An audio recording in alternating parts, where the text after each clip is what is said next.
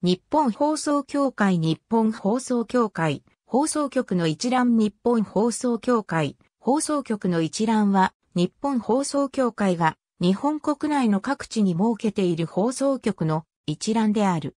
東京都を管轄する放送センターを1、放送局として含めて54放送局が存在する。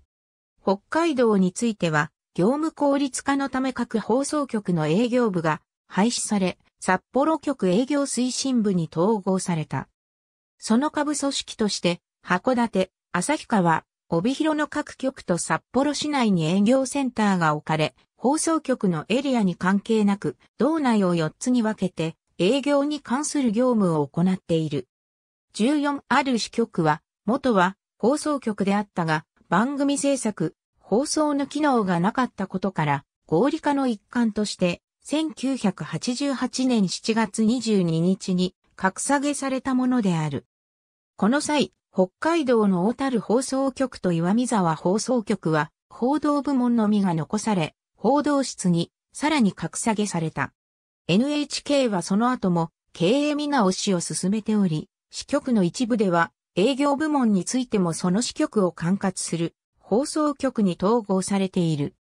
また NHK は受信領収事業務のさらなる合理化を求められており、2008年10月に訪問集金制度が廃止、口座振替、コンビニエンスストア窓口支払いへ一本化された。今後の経営改革によっては、一部の支局は報道室への格下げ、または廃止を迫られることになるものとみられていた。小森重隆は経営委員長在任中、今後職員削減を含めたリストラが検討課題となるとの見方を示している。公認の小丸西洋も就任会見で小森路線を基本的に踏襲する方針を表明。ただ、2009年度以降の経営計画では、リストラが過度に進みすぎた各地の放送局については、増員し、本部レベルでリストラを進める方針が示されている。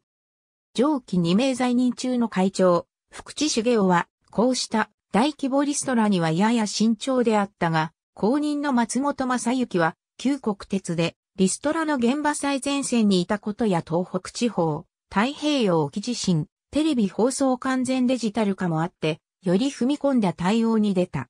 その公認、もみーまさとの会長在任中の2015年度に、報道室、通信部がすべて廃され、これらも支局として位置づけられた。